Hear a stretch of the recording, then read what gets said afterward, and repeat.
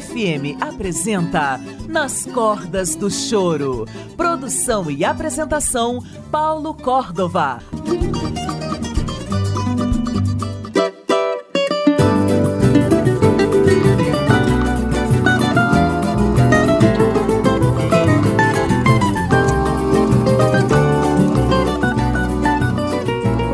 Isso aí, amigo 20 da Rádio Cultura FM 100,9, a rádio que toca Brasília. A partir de agora, aperte o cinto, aumente o som, se aconchegue na poltrona, pois começa agora. Nas cordas do choro. É isso mesmo nas cordas do choro, ou melhor, do chorinho de Brasília, do Brasil e do mundo, para você ficar antenado na música instrumental brasileira por excelência. É isso mesmo. Comigo, Paulo Córdova, este chorão que vos fala, todo domingo às 11 horas, com reprise quinta-feira às 20 e sábado às 9 horas da manhã. Hoje, um especial sobre o grande mestre Dominguinhos.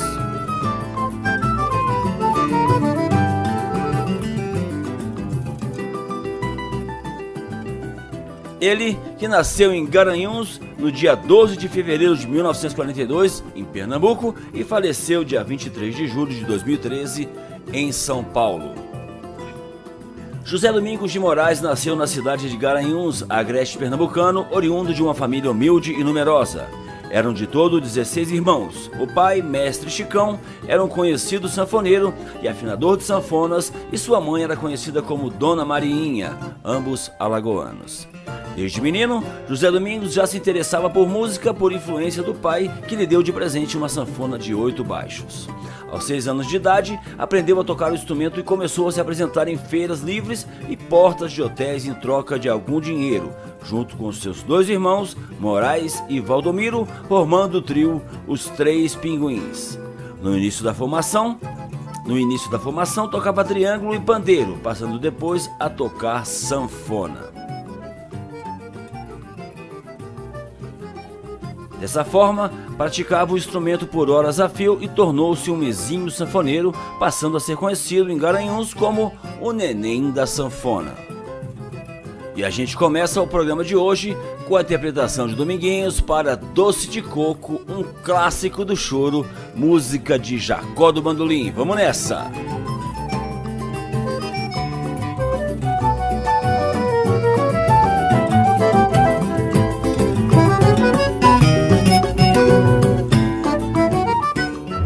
É, meu nome é Augusto César Rodrigues de Almeida. Eu tenho 25 anos e toco percussão. Olha, o chorinho para mim representa o meu coração, né? Que eu nasci no chorinho, né? Desde os 9 anos de idade que eu toco, comecei com meu pai, fui crescendo, crescendo no chorinho e a minha vida é o choro.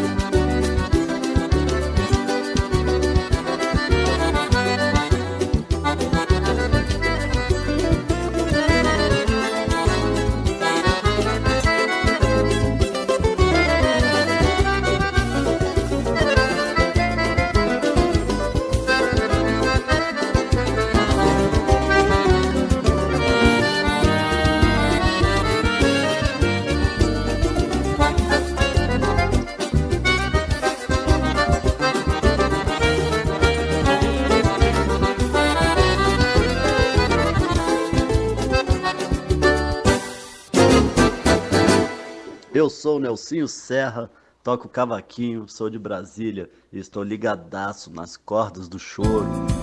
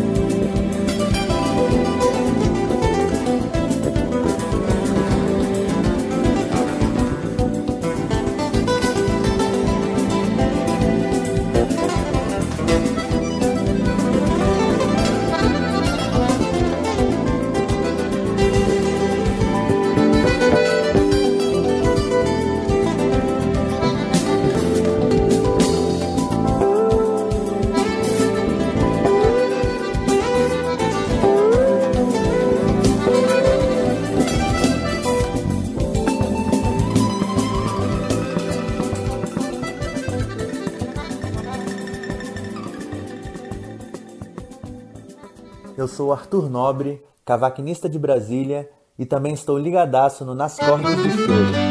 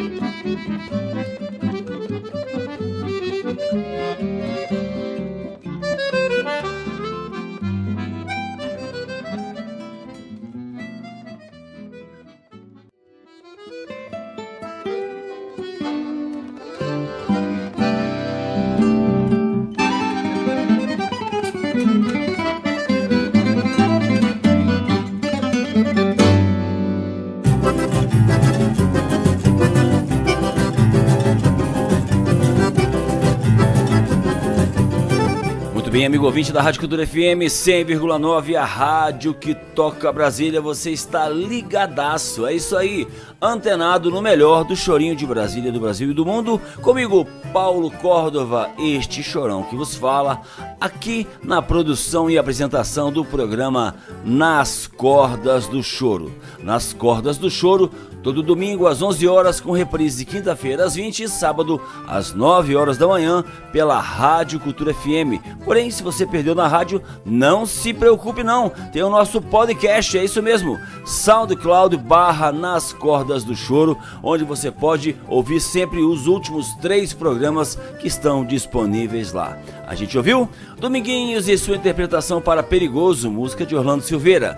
Anterior foi sua interpretação para Bebê, de Hermeto Pascoal, e para começar o bloco foi Doce de Coco, clássico de Jacó do Bandolim.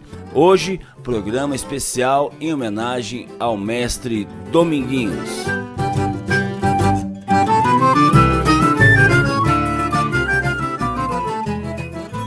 Muito bem, e no belo dia, Neném do Acordeon conheceu Luiz Gonzaga, quando tocava no motel em que ele estava hospedado em Garanhuns. O nome do hotel era Tavares Correia e o trio, que sempre tocava na porta, foi convidado naquele dia a tocar dentro do hotel para Gonzaga e seus acompanhantes.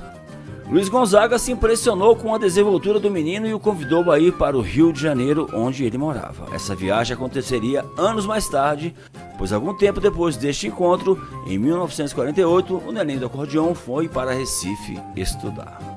Alguns anos depois, em 1954, seu pai decide ir para o Rio de Janeiro procurar Gonzaga, devido às dificuldades que passavam em Garanhuns.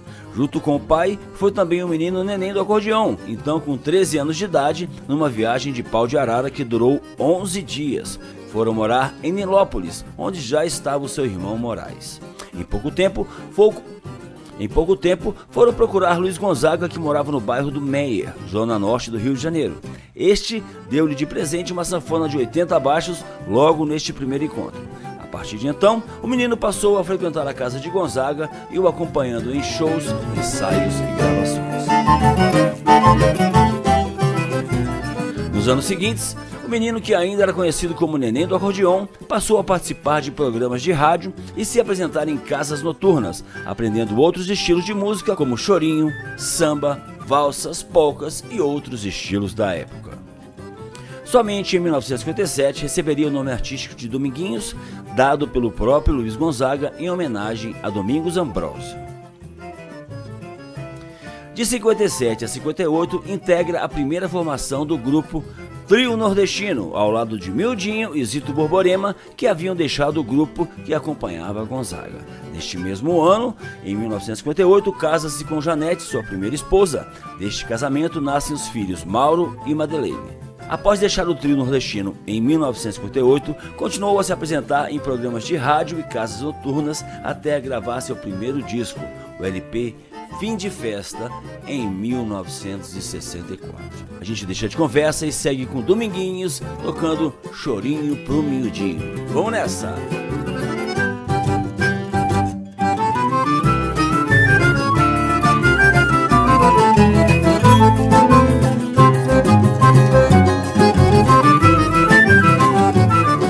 Galera boa! Aqui é o Dudu Sete Cordas. Troquei São Gonçalo por Brasília. Troquei São Gonçalo pelo Tartaruga. E estou aqui ligadaço no programa Nas Cordas do Choro. Valeu, vivo Sete Cordas, vivo Choro!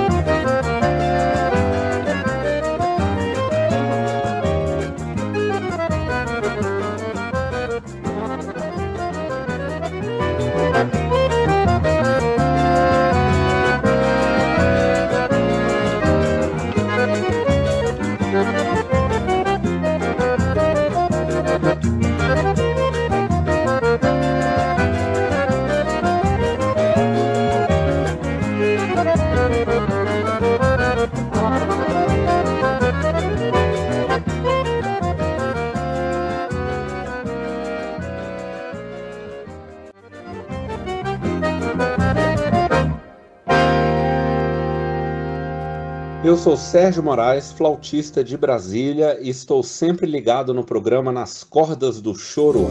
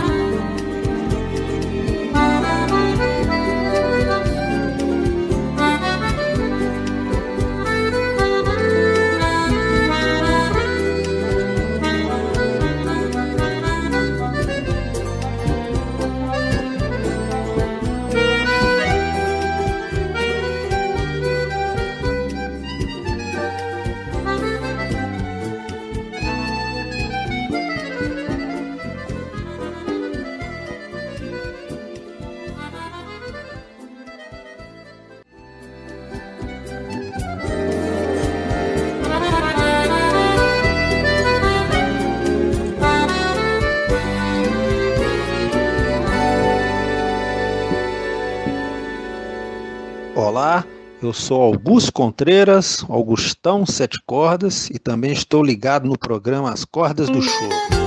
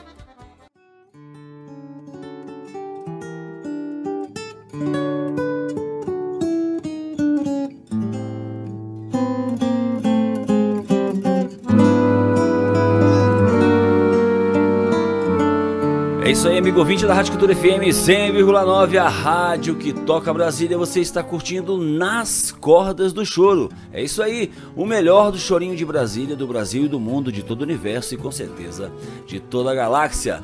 Nas Cordas do Choro, todo domingo às 11 horas aqui pela Rádio Cultura, com reprise quinta-feira às 20 e sábado às 9 horas da manhã. Se você ainda não se antenou, vai lá na nossa página no facebook.com barra nas cordas do choro, facebook.com barra nas cordas do choro, onde você fica informado de tudo que está acontecendo no chorinho de Brasília, do Brasil e do mundo. Tem o nosso novo Instagram também, que é arroba nas cordas do choro, e o nosso podcast, que é SoundCloud barra nas cordas do choro, Queria agradecer a todos, a galera tá fortalecendo mesmo, todo mundo. Vamos curtir e compartilhar os canais do Chorinho e assim fortalecer a música instrumental nas redes, beleza? Muito bem, a gente ouviu Dominguinhos interpretando Espinha de Bacalhau de Severino Araújo. Anterior foi ele com Pedacinhos do Céu, classicaço do Valdir Azevedo. E para começar o bloco foi ele interpretando a própria música dele, Chorinho pro Miudinho, de Dominguinhos e Edson José Alves. Hoje, o programa especial em homenagem ao mestre Dominguinhos. Como já falei, embora o forró e o baião predominassem seu trabalho, Dominguinhos também fez parcerias com diversos cantores, como no show Índia de Gal Costa em 72. Na década de 80, lhe proporcionou sucessos como De Volta para o Aconchego, em parceria com Nando Cordel, interpretada por Elba Ramalho, e Isso Aqui Tá Bom Demais, que cantou em dueto com Chico Buarque, Ainda com Chico, fez a parceria na música Tantas Palavras, lançada em 84 e cantada pelo próprio Chico Buarque. Também teve como parceiro Gilberto Gil nas músicas Lamento Sertanejo e Abrir a Porta. Em 2007 lançou um dueto com Virtuose no violão. Em 2007, lançou um álbum em dueto com Yamandu Costa, no qual mostrou toda a sua virtuosidade e desenvoltura com o instrumento. Assim, depois de dois discos gravados, voltou a integrar o grupo de Gonzaga em 1967, viajando pelo Nordeste e dividindo as funções de sanfoneiro e motorista. Em uma dessas viagens, naquele mesmo ano, conhece uma cantora de forró, a pernambucana Anastácia, com quem compôs mais de 200 canções. Inclusive, um de seus maiores sucessos, Eu Só Quero um Xodó, em uma parceria que durou 11 anos. Anastácia revelou em 2013 que se arrependeu de ter destruído 150 fitas cassetes com melodias inéditas de Dominguinhos depois de ter sido abandonada por ele. Sua integração ao grupo de Luiz Gonzaga fez com que ganhasse reputação como músico e arranjador, aproximando-o de artistas consagrados dos movimentos Bossa Nova e MPB nos anos 70 e 80. Fez trabalhos com músicos de renome como Nara Leão, Gilberto Gil, Gal Costa, Maria Bethânia, Elba Ramalho, Chico Buarque, Toquinho, Roberto Carlos, dentre milhares de outros. Acabou por se consolidar em uma carreira musical própria, englobando gêneros musicais diversos como bossa nova, jazz, pop, choro, samba, baião, enfim. No final dos anos 70, Dominguinhos conhece a também cantora Guadalupe Mendonça, com quem se casa em 1980 e deste casamento nasceria uma filha, a cantora Liv Moraes. A gente deixa de conversa e segue com Dominguinhos e sua interpretação para Tico Tico no Fubá, música de Zequinha de Abreu. Oba! Aqui é Pedro Vasconcelos, músico cavaquinista, e eu tô ligadaço nas cordas do choro.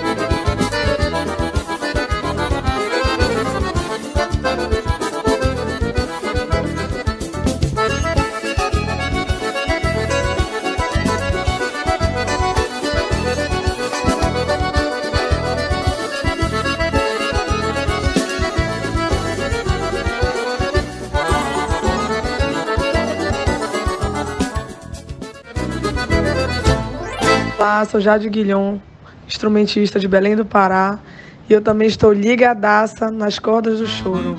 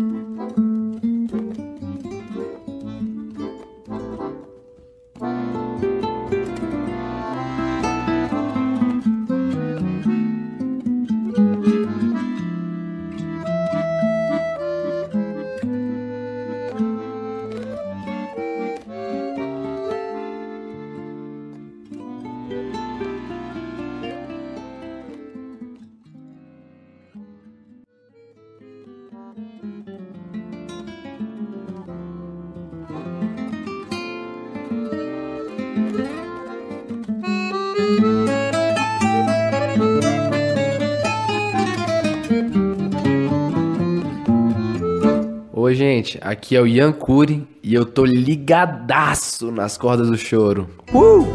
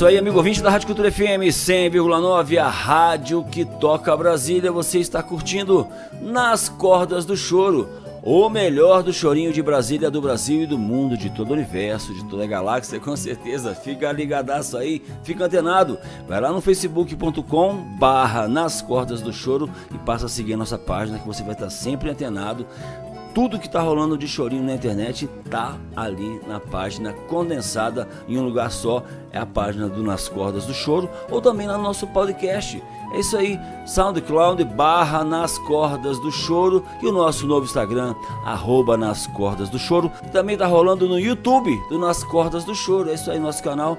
Tô colocando os programas lá, pode ir lá conferir. Peço a todo mundo que curta, compartilhe, aperta lá o dedo no like. É isso aí, vamos fortalecer os nossos canais e a música instrumental brasileira por excelência na internet. Beleza?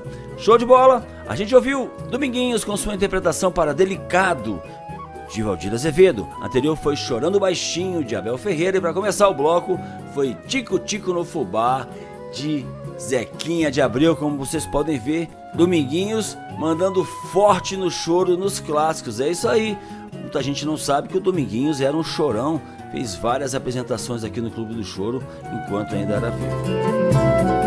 Hoje, programa totalmente especial em homenagem ao mestre Dominguinhos, o neném do acordeon, é?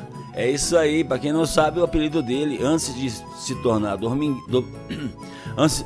Para quem não sabe, seu apelido antes de ser Dominguinhos era Neném do Acordeon. Ele que começou a tocar a sanfona muito cedo, muito jovem e sempre foi um exímio, espetacular instrumentista.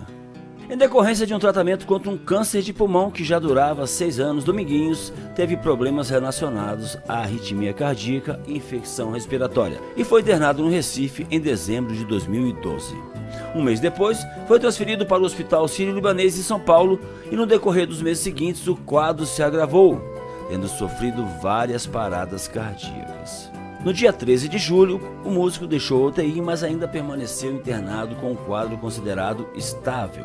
Mas, com um novo agravamento do seu quadro, voltou para a UTI, onde morreu no dia 23 de julho de 2013, às 18 horas. Seu sepultamento foi realizado no cemitério Morada da Paz, no município de Paulista, na região metropolitana de Recife. Mas, para atender um pedido de Dominguinhos, feito em uma entrevista dada ao radialista Geraldo Freire na Rádio Jornal do Comércio, na cidade de Recife, que queria ser sepultado em sua cidade natal, seu corpo foi trasladado para Garanhuns no dia 26 de julho de 2013 e sepultado no cemitério São Miguel.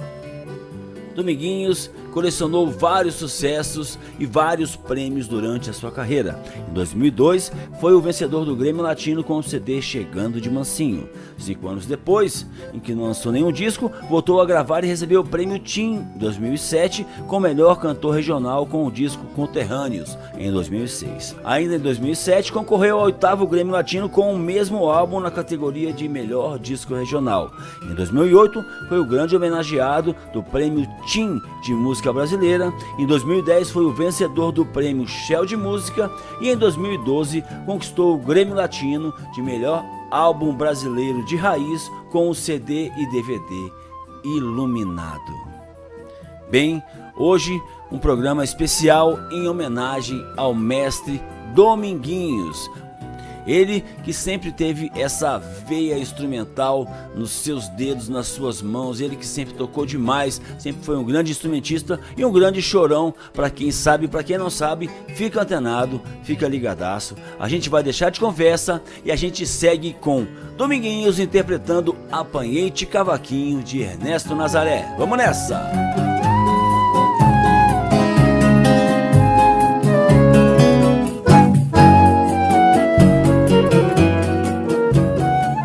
Eu sou o bandolinista Vitor Angeléias e também estou ligadaço nas cordas do choro.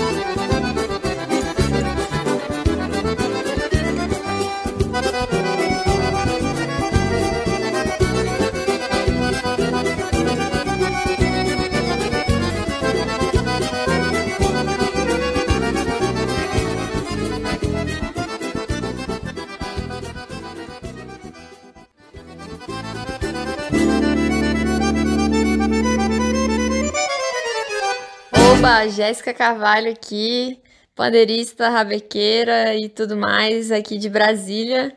E eu tô super ligada aqui nas cordas do choro. Esse programa é sensacional.